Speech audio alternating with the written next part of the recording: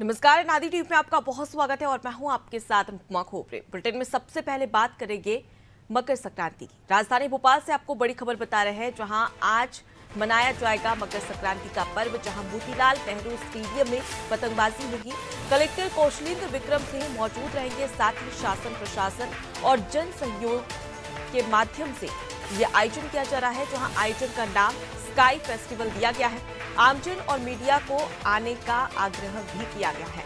देखिए देश भर में मकर संक्रांति का त्यौहार आज मनाया जाएगा और इसको लेकर तमाम तैयारियाँ की जा रही है। प्रदेश की बात करी जाए तो राजधानी भोपाल में कलेक्टर कौशलेंद्र विक्रम सिंह ने तमाम आयोजन किए इसके माध्यम से तमाम जो लोग हैं, वो जुड़ेंगे और पतंग, पतंगबाजी भी किया जाएगा, जहाँ पर मोतीलाल नेहरू स्टेडियम में पतंगबाजी होगी। और आयोजन का नाम स्काई फेस्टिवल भी दिया गया है। इसमें तमाम जो दिग्गज हैं, वो इस दौरान मौजूद रहेंगे आमजन और मीडिया को आने का आग्रह भी किया गया है।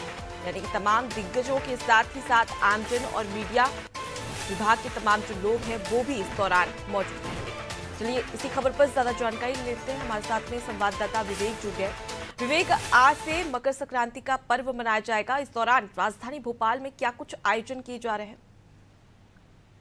देखिए, राजधानी सहित पूरे प्रदेश भर में मकर संक्रांति का पर्व मनाया जा रहा है। मोतीलाल नेहरू स्टेडियम में पतंगबाजी का कार्यक्रम रखा गया है। इसकी पहल खुद कलेक्टर कौशल विक्रम सिंह ने की है और इस पतंगबाजी के कार्यक्रम में खुद कौशल विक्रम सिंह मौजूद रहेंगे। जिला प्रशासन और जन सहयोग के ज़रिए ये पूरा आयोजन किया जा रहा है और सुबह दस बजे से इस कार्यक्रम की शुरुआत होगी और कार्यक्रम को बतौर सफल बनाने के लिए स्काई फेस्टिवल नाम रखा गया है।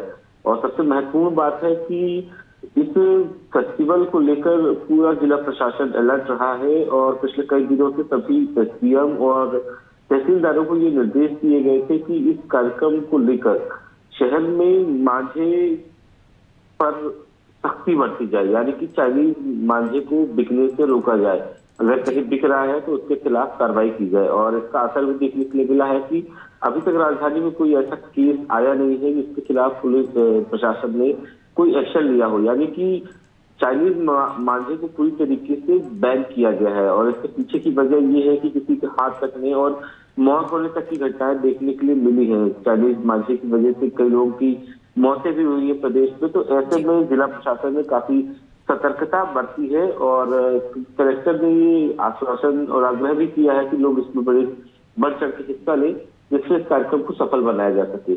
जी, बिल्कुल। तो प्रशासन की ओर से इंतज़ाम तो किए गए, ठीक उसी प्रकार अगर कई सारी दुर्घटनाएँ देखने को मिलती है तो उससे बचने के लिए भी कहीं ना कहीं यहाँ पर बंदोबस्त किए गए हैं।